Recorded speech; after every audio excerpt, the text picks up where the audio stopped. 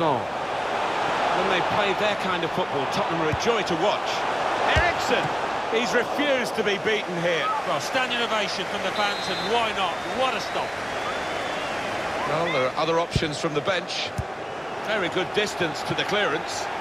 He's still got it. Well, he's having to work hard. This could be a chance. It's opened up. What a lovely death finish that was.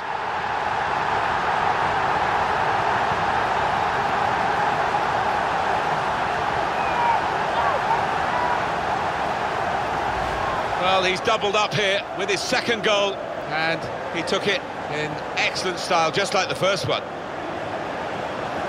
We can see a slightly different viewpoint on it.